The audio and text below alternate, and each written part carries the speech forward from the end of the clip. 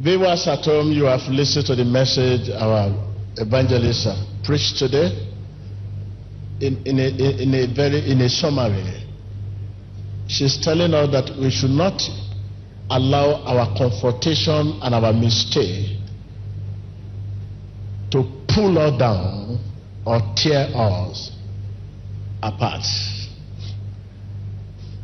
Rather, we should see all this, whatever challenges, see it as a way of coming closer to God. Tell your neighbor, don't allow your confrontation,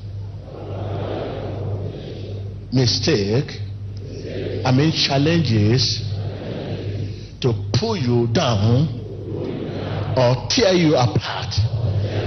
Rather, see it as a way of coming closer to God. Yes. What is your challenges?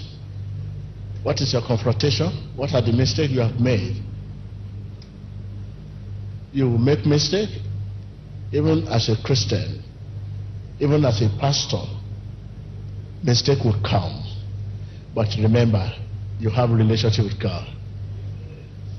You can easily go to Him and say to yourself,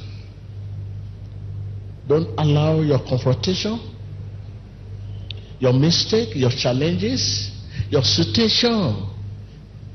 Because it was in the midst of situation the Lord took me to the place where He can use me today.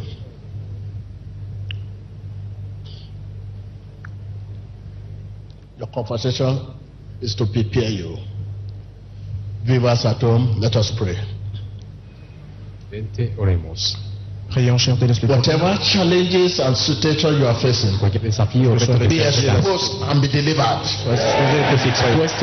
In the name of Jesus Christ. de Jesús. Au nom de Jésus.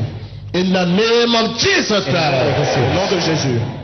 In the name of Jesus Christ. Au nom de Jésus. What are your challenges? What are your situations? Limitation in progress? limitations Be exposed and be delivered in the name of Jesus. Es expuesto y liberado en el nombre de Jesús.